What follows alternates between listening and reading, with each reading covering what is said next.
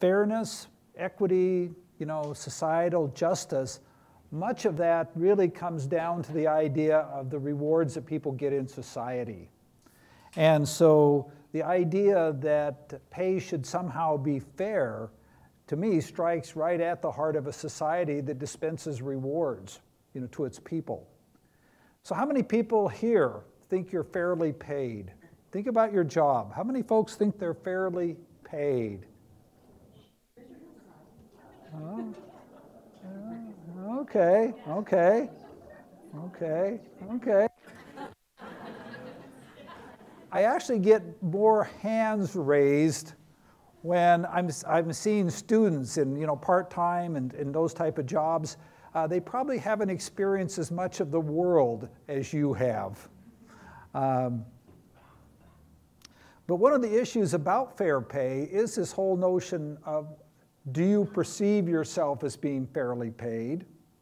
But then on the other hand, does the government see you as fairly paid? And those are two very different kinds of things.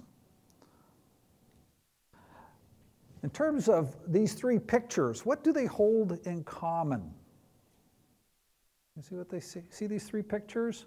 We've got a monkey rage over here. Uh, a monkey was very, very enthusiastic about eating cucumbers. Monkeys love cucumbers, come to find out. But he became enraged because some of his fellows got grapes and started throwing the, the, the cucumbers back at the researchers. Okay? Uh, you can see the look on this eight year old's face.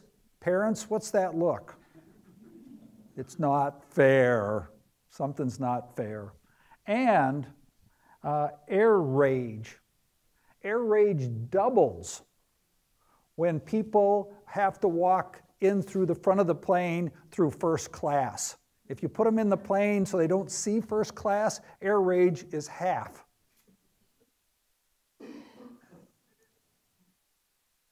Fairness matters. So, what we're going to talk about today is why is pay fairness important? What is fair or equitable? And how does one achieve pay fairness?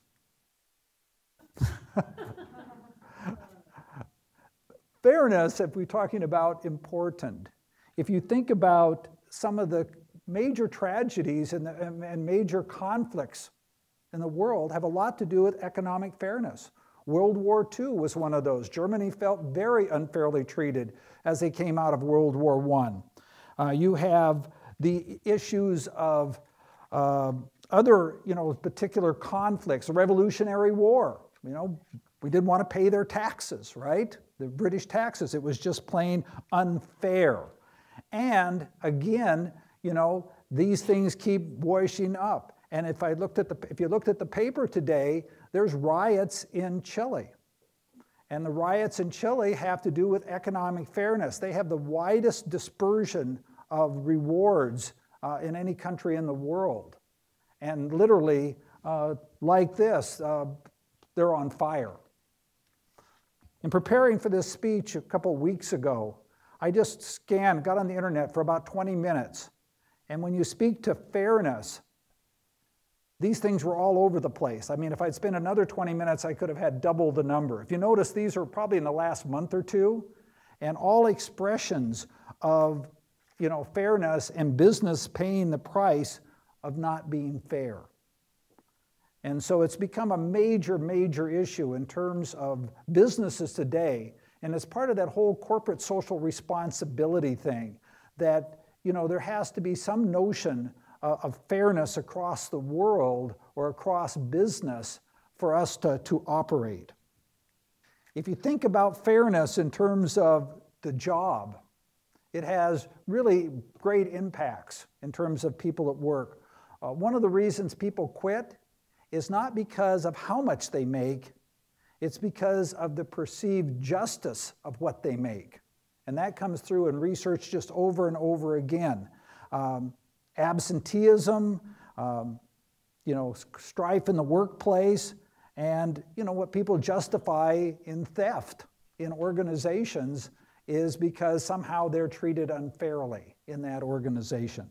One of the things that's in the news And it's been in the news for a long time, but it's finally gotten traction. Every year, you know, it's published of, you know, women make about what, about 80% of what men make? And, you know, the injustice of that, that women's time and women's contribution is not what men's contribution is. Well, to be honest, it's a very misleading, you know, kind of information. Um, one of the things that if you start to talk about what fairness is, it depends on how you define what's fair. Is fair going to simply be everybody is paid exactly the same? Most people don't want any part of that, actually, you know, especially in the United States and especially in, in most countries of the world. They recognize that people you know, should have differences in rewards depending on certain kinds of factors.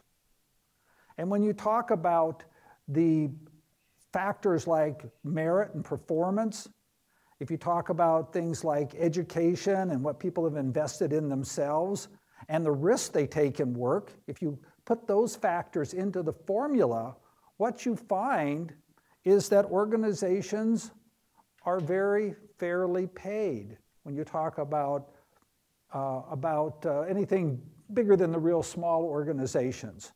I've done these kind of studies, and, and uh, many of them are starting to be published now, where they look at firms, they take into account the contribution, they take into account the performance, they take into account factors that we would all agree that are fairly, you know, that, that distinguish people in terms of how much they make.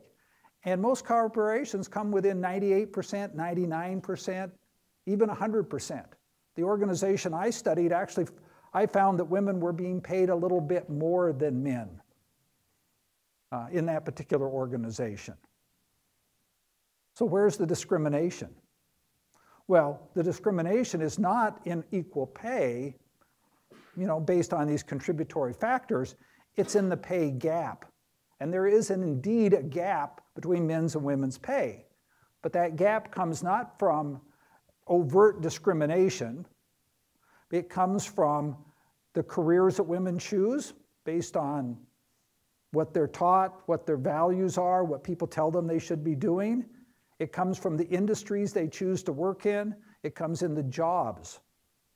And so if you talk about fairness, you know, the correction for that is, okay, is to look at, you know, some of the basic things in society in terms of determining uh, and shaping and providing opportunity, you know, to get into those jobs and to make a difference in those jobs.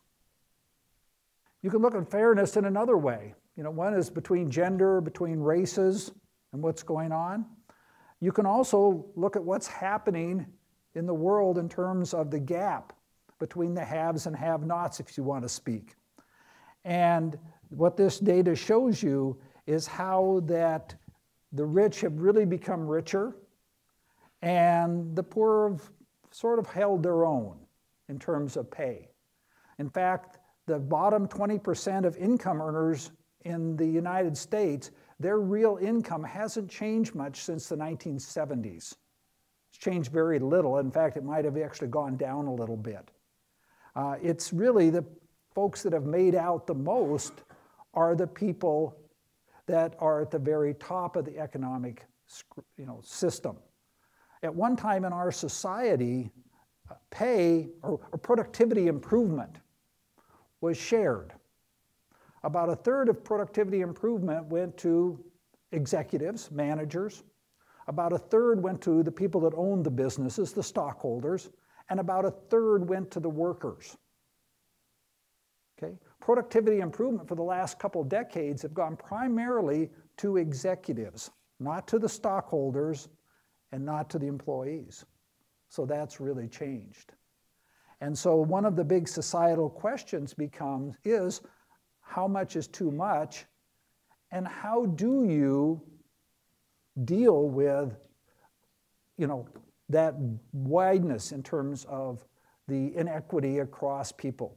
And so one of the things that societies are looking at is in fact, you know, like Chile, what does it mean when you have individuals that are never, never going to get into those upper reaches. And in fact, uh, you can create a third world economy.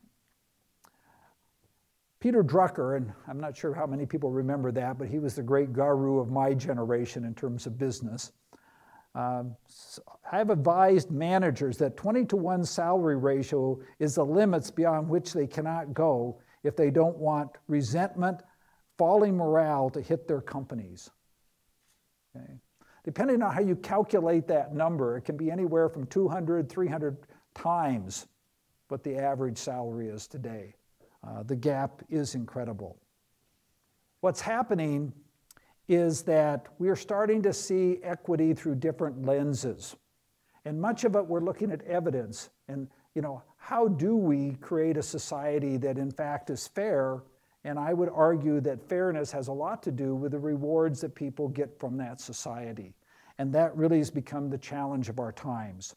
And so rather than just look at market competitiveness and what we pay out there or internal equity, we're looking at you know, social orders, we're looking at the demographics, we're looking at the relationship between executives and employees, and now more and more we're looking globally at, at what those rewards should be. What this tells us is that there's ways of achieving fairness, and there's basically three types. One is distributive, it's how much you get. One is procedural, that's how do you get it. And the third is, do you trust the person that gives you the reward? And in terms of fairness, it's typically not how much you get, actually. It's whether your perceptions that you come by it fairly is what makes the difference.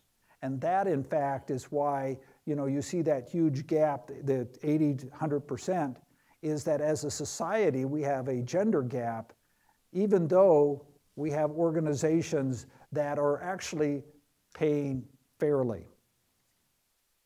I've been doing a lot of uh, research in this area for several decades, actually.